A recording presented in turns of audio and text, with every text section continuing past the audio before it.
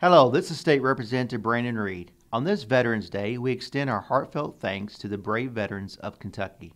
Your service and sacrifice have protected our great state and our nation.